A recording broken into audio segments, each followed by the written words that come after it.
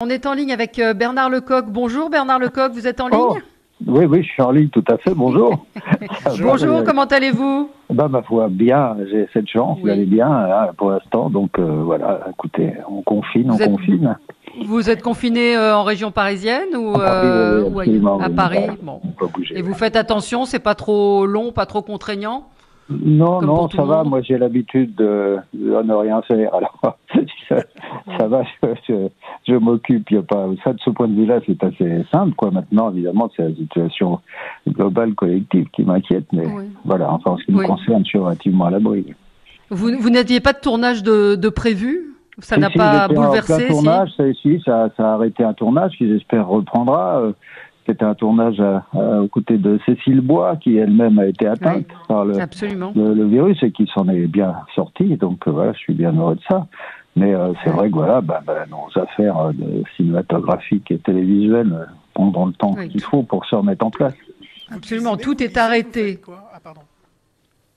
Tout est arrêté, oui, je suppose. Oui, allô. Oui. Oui, Oui, oui, oui, tout est tout est arrêté. Gilles vous demandait si vous êtes, si vous lisiez ce que vous faisiez de vos journées. cuisiner. Oui, je lis, oui, beaucoup, euh, beaucoup. Je regarde des, des films aussi. et Je fais un peu de sport à la maison. Enfin voilà. Et puis je m'occupe, euh, voilà, faire un peu des choses en cuisine de temps en temps. Et voilà.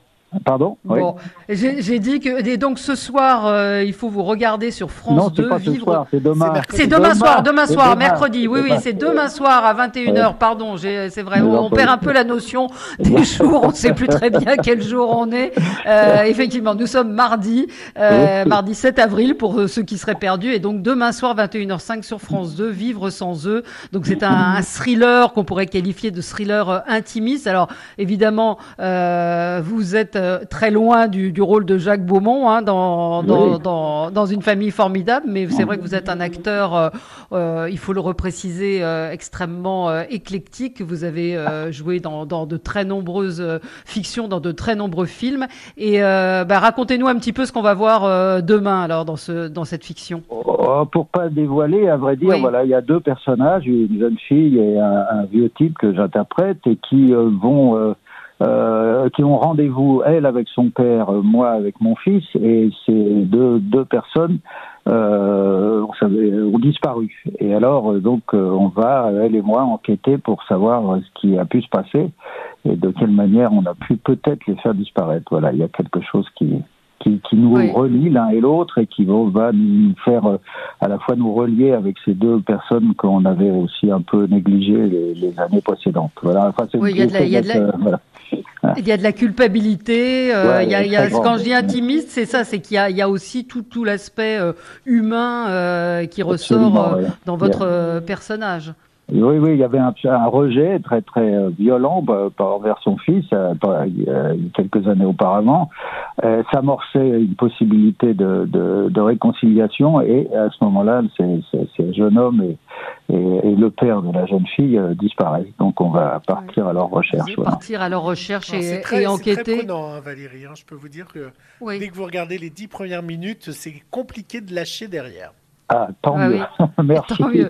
Il faut- les spectateurs à regarder. ça, Non, non, mais c'est vrai. Il y a, y y Esther Garel qui joue cette, euh, Oui, cette jeune femme hein, qui est très émouvante. Ah oui, oui.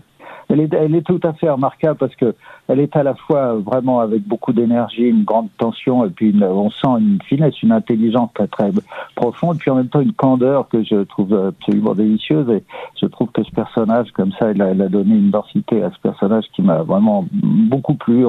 Ce qui nous a permis de travailler tous les deux et de donner à nos deux caractères euh, euh, quelque chose, je crois, de, de, de touchant et de crédible. Voilà.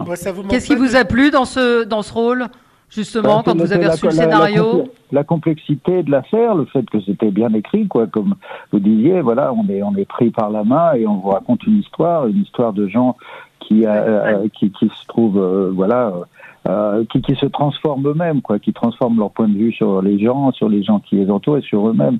Alors ça, ça me plaît, moi, cette affaire-là. voilà. Ça, ça vous manque pas une famille formidable de, de retrouver Annie Dupéret et tout le monde? Bien Parce que sûr, nous, mais on, nous ne se- manque. hein. on ne se lâche pas, on ne se lâche pas avec Annie, avec les mots, mais tout ça, mais enfin, bien sûr que ça me manque. Et en même temps, ce qui me manque, et ce qui nous manque à tous le plus, c'était notre poète Joël Santoni, qui est décédé, qui en était le, le maître d'œuvre, qui était, en était le, le créateur. Enfin, il est, euh, avec euh, Pascal Brognaud, bien sûr. Mais voilà, quand Joël est parti, voilà, j'ai pensé qu'il fallait Vous avez décidé euh, d'arrêter. Bah, TF1 pourrait le, le, rediffuser. Alors je pense que c'est déjà diffusé oh, ça sur. Viendra sûrement, sur, oui, ça viendra sûrement. Bah oui, parce qu'on va arriver à court de, on va arriver à court de fiction au bout d'un moment, non? Oui, oui, absolument. C'est très bien. Écoutez, voilà, ça, la, la, ça veut dire que vous aurez, ça veut dire que vous aurez plein de boulot. Peut-être. J'espère que je serai encore utilisé. On verra. Oh, si vous êtes, vous êtes vraiment un comédien rare. Euh, je, ben. je, je, dois le dire. Vraiment, vous êtes quelqu'un d'humble euh, et, et, et, vraiment en plus avec une, une, une palette de jeux qui est assez, euh, assez formidable et on le verra ce, oh. donc demain soir. Vraiment, euh, je le dis euh, très sincèrement. Euh, Vivre sans eux, c'est donc demain soir. C'est un scénario de Jean-Luc Estèbre réalisé par Jacques Maillot. Jacques Maillot et puis, et puis on va retrouver. Il y a pas mal de Grégory Montel, Lilou Fogli. Absolument, Lilou Fogli, tout à fait, qui sont deux personnages très intéressants. Je, je, je n'en dévoile pas plus, mais ils sont vraiment tout à fait N'en dévoilez pas plus. Voilà, oui. Merci beaucoup d'avoir été avec nous, Bernard merci Lecoq. Prenez soin merci. de vous. Et je rappelle, demain soir, sur France 2, merci. Demain soir, sur France 2, Vivre sans eux, c'est un, un, thriller euh, que vous ne lâcherez pas. Euh, effectivement, Gilles a raison. Euh, les deux premières minutes, euh, les dix premières minutes vous happent totalement. Merci à vous.